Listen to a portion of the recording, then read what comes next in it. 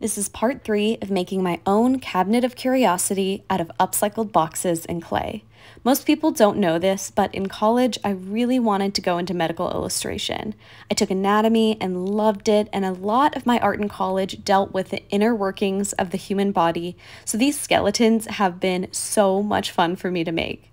I've always felt like Mother Nature is the best artist, and I get so much inspiration from the natural world, and I can't wait to keep adding to my collection collection.